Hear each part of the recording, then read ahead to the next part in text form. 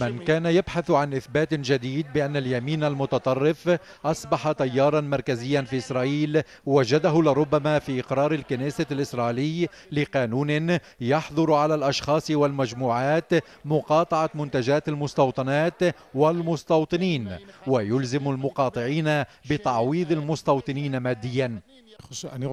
إنه قانون سيء ينقل الجدل حول الاستيطان من المستوى الشعبي إلى القضائي. الأمر مقلق ولا أعتقد أنه سيتجاوز الاختبار الديمقراطي في إسرائيل.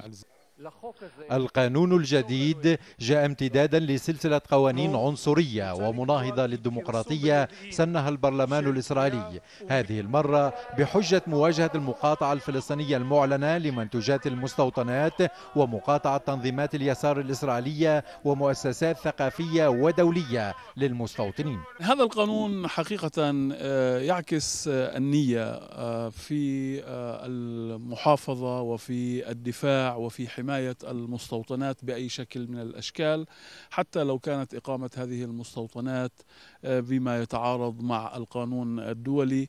هناك إجماع في أوساط الحكومة اليمينية الإسرائيلية على هالة القدسية حول هذه المستوطنات وضرورة المحافظة عليها.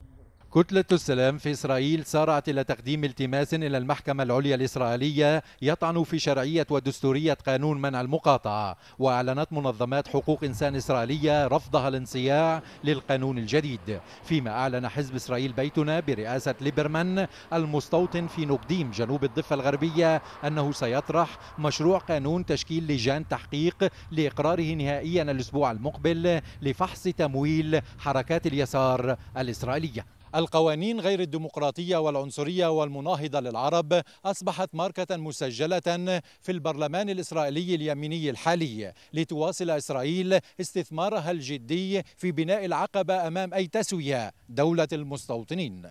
زياد حلبي العربية القدس الغربية.